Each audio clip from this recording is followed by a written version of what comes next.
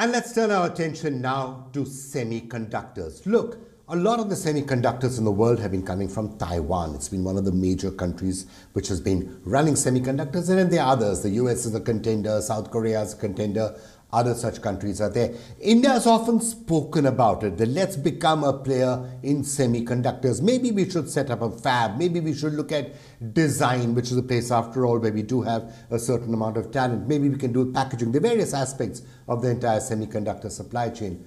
But it's never really worked. This time, though, could be different. Why are people saying that this time it could be different? Because the government of India has just come out with an entire scheme a short while back where they are saying we will pay 50% pari passu every rupee that you invest in semiconductor fabs in India, we'll pay 50% from the government. And by the way, state governments also chip in with another 25%. And then there is interest. And now people are looking at India. Gina Raimondo from the United States was here four days, spent some time with Piyush Goyal, signed an agreement looking at how India and the US can cooperate in this space. So, can India become a big player in semiconductors? Well, here's a special package that we put together for you. In perhaps one of the most important developments for India's diplomacy and manufacturing capability, India and the United States signed a memorandum of understanding last week to boost coordination for the manufacturing of semiconductors or chipsets. Now, why is this deal important? Well, to understand that, let's understand why semiconductors are important and why they are currently posing a major crisis for global powers. At the heart of all modern technological devices, a TV, a phone, or a computer, is a semiconductor or a microchip. In fact, it's not even just computers. In the modern world, your car, your washing machine, your AC all rely on and need semiconductors to function. And the process of manufacturing these chips that power everything around us is increasingly complex and is leading to tension between the United States and China.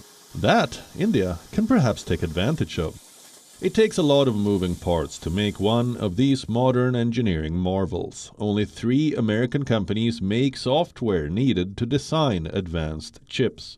Making physical chips using those designs requires a machine that's only made by one company in the Netherlands. And only companies based in Taiwan and South Korea can put all of this together and manufacture the most advanced computer chips. These are the choke points in the global supply chain. Now, a few years back, China was quick to recognize this. After the Cold War ended in the 1990s, China had become friendlier with the United States and had enticed many chip companies to shift their assembly operations to China. In the 2000s, China dominated the assembly part of the supply chain, but as China's political scenario changed, the regime realized that this assembly relied on imported silicon from their geopolitical adversaries and poured money into upping their own capabilities, which some allege included IP theft. This angered the United States, which saw this move as a security threat.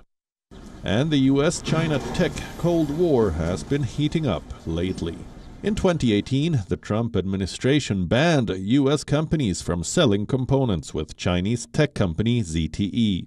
In 2019, it banned them from doing business with China's largest tech company, Huawei.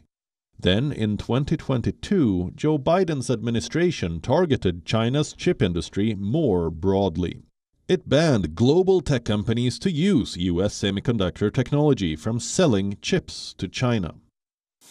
In the midst of this dispute, the US is actively engaging the practice of friend shoring, which means sourcing raw materials and components from countries who are your allies.